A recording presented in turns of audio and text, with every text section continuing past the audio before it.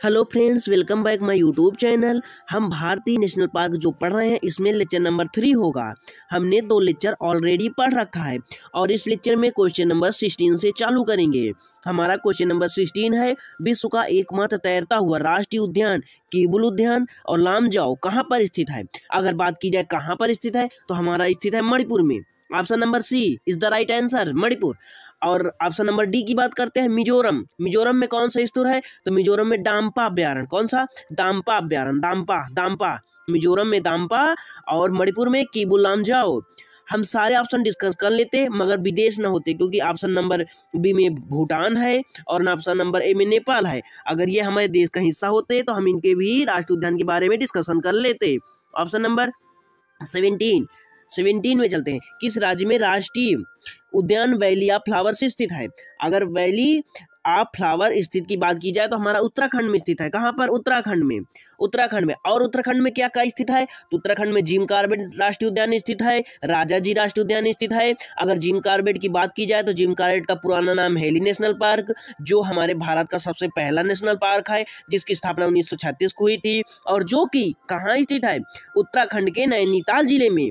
उत्तराखंड के नैनीताल ज़िले में। अगर Jammu Kashmir option number B की बात की जाए तो ऑप्शन बी की जम्मू कश्मीर में कौन कौन सा स्थित है? तो जम्मू कश्मीर में दचगाम राष्ट्रीय उद्यान और किश्तवाड़ अभ्यारण्य।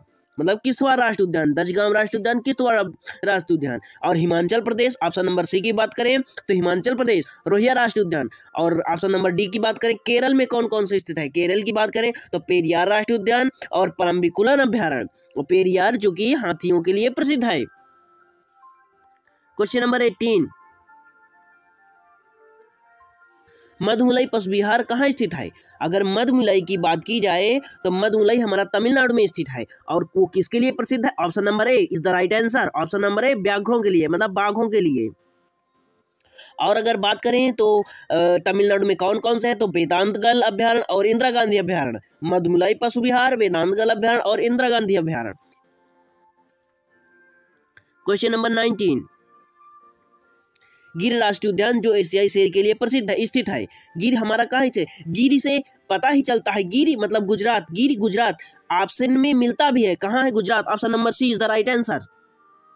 और गुजरात में और कौन से हैं? तो गुजरात में नल सरोवर अभ्यारण्य है। गिर राष्ट्रीय उद्यान है गुजरात में। अगर असम की बात की जाए तो असम में कौन कौन से हैं? असम में है हमारा काजीरंगा है और मानस है। काजीरंगा गैड़ों के लिए प्रसिद्ध है।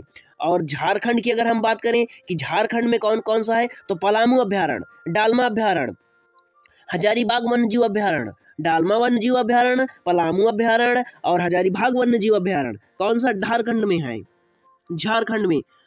ऑप्शन नंबर अब इसमें हमारा ऑप्शन नंबर कौन सा था? ऑप्शन नंबर सी था। और अब question number twenty question number twenty की बात की जाए तो नाम दफ़ा वन्य जीव अभ्यारण्य किस राज्य में स्थित है? अगर नाम दफ़ा की बात की जाए तो हमारा नाम दफ़ा अरुणाचल प्रदेश में स्थित है। Option is the correct answer option A is the correct answer, Arunachal Pradesh.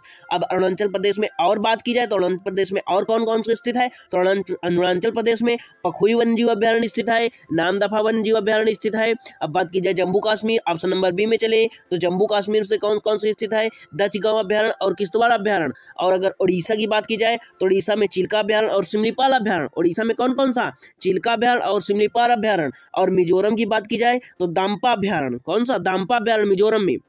Thanks thanks for watching अगर हमारा लेक्चर पसंद आया हो, अगर आपको याद हो रहा है तो कृपया लाइक शेयर और सब्सक्राइब करें. Thanks thanks for watching